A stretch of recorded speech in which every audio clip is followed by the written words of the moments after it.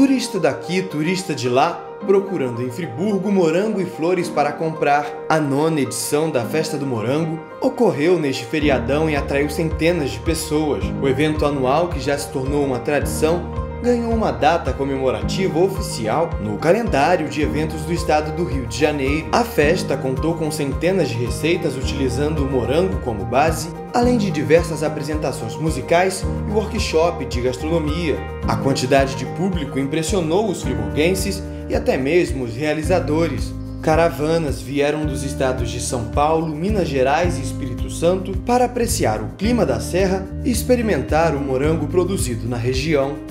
No mesmo espaço, ocorreu a tradicional Festa das Flores de Nova Friburgo, que é considerada a segunda maior produtora de flores do país.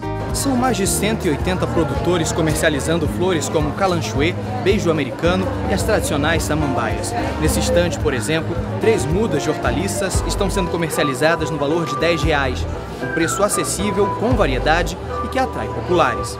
Os realizadores do evento afirmam que, pelos dados preliminares, a quantidade de público foi um sucesso, estimando-se que cerca de 60 ônibus de excursão visitaram nossa cidade durante os cinco dias de festa.